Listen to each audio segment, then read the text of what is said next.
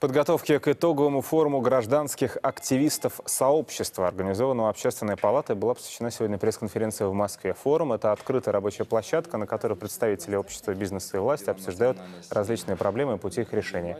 Такие встречи уже прошли в федеральных округах. Финальный этап состоится в Москве в начале ноября. Приурочен он будет, по словам секретаря Общественной палаты Александра Бричалова, ко Дню народного единства.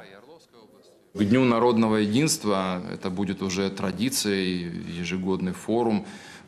Мне кажется, очень символичное название «Сообщество».